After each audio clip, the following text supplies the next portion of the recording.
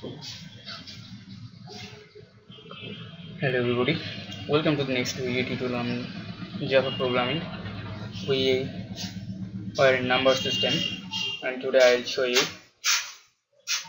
hexadecimal to decimal binary and octal. So let's start. And go to Eclipse. And in the number system project create a new class.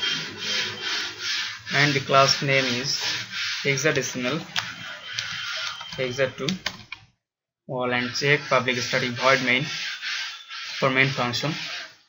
And firstly create scanner equal to new scanner. System dot in. And we know that a hexadecimal number is an string number. So declare a string variable. String is a decimal and show a message enter. A decimal number. And now the hexadecimal number equal to sc dot next line. And now declare integer variable for decimal number and string for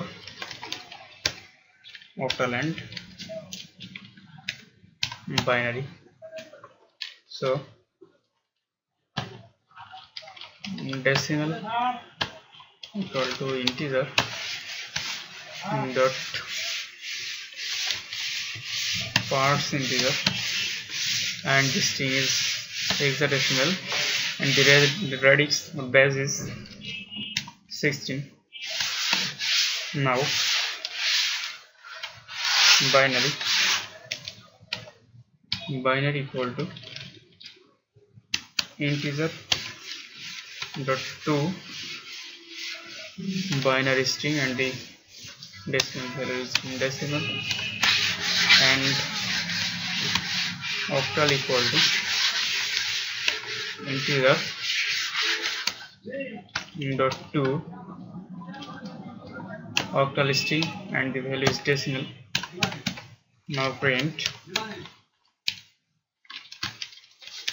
Decimal is plus decimal then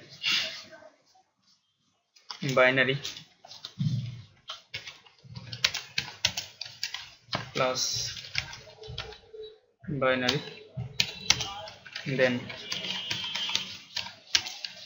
octal plus octal. Now run this program. Please enter hexadecimal number and the hexadecimal number is 4580 so the decimal number is equivalent decimal value is this and binary this and equivalent octal is this. Again run this program so enter hexadecimal number and hexadecimal number 789 and equivalent decimal 1929 binary this and octal this. So this is all about hexadecimal to decimal binary and octal thank you. For watching